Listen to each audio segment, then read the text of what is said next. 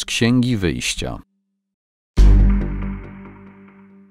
Pan powiedział do Mojżesza: Oto ja zawieram przymierze wobec całego Twego ludu i uczynię cuda, jakich nie było na całej ziemi i u żadnych narodów. I ujrzy cały lud, wśród którego przebywasz, że dzieła Pana, które ja uczynię z Tobą, są straszne. Przestrzegaj tego, co ja dzisiaj Tobie rozkazuję. A ja wypędzę przed Tobą Amorytę, Kananejczyka, Chetytę, Peryzzytę, Hiwwitę i Jebusytę. Strzeż się zawierania przymierza z mieszkańcami kraju, do którego idziesz, aby się nie stali sidłem pośród was. Natomiast zburzcie ich ołtarze, skruszcie czczone przez nich stele i wyrąbcie aszery. Nie będziesz oddawał pokłonu Bogu obcemu, bo Pan ma na imię zazdrosny, jest Bogiem zazdrosnym. Nie będziesz zawierał przymierzy z mieszkańcami tego kraju, aby gdy będą uprawiać nierząd z bogami obcymi i składać ofiary swoim bogom, nie zaprosili cię do spożywania z ich ofiary. A także nie możesz brać ich córek za żony dla swych synów, aby one, uprawiając nierząd z obcymi bogami, nie przywiodły twoich synów do nierządu z bogami obcymi. Nie uczynisz sobie bogów ulanych z metalu.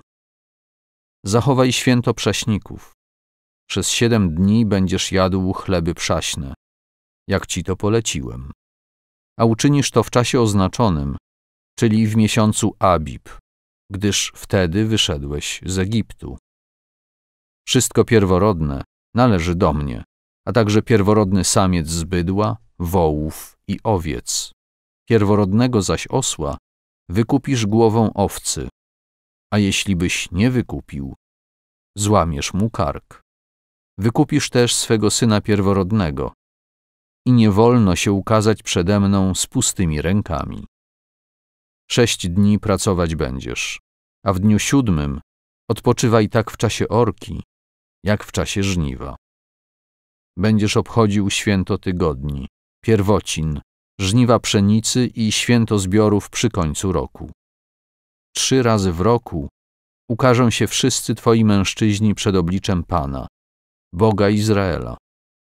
Ja bowiem wypędzę narody sprzed ciebie i rozszerzę twoje granice, i nikt nie będzie napadał na twój kraj, gdy ty trzy razy w roku pójdziesz, aby pokazać się przed obliczem Pana, Boga Twego. Krwi moich ofiar nie powinieneś składać razem z kwaszonym chlebem i nic z ofiary paschalnej nie powinno zostać na drugi dzień. Najlepsze z pierwocin Twojej ziemi winieneś przynieść do domu Pana, Twego Boga. Nie będziesz gotował koźlęcia w mleku jego matki. Pan rzekł do Mojżesza: Zapisz sobie te słowa, gdyż na podstawie tych słów zawarłem przymierze z Tobą i z Izraelem. I był tam Mojżesz u Pana czterdzieści dni i czterdzieści nocy, i nie jadł chleba, i nie pił wody.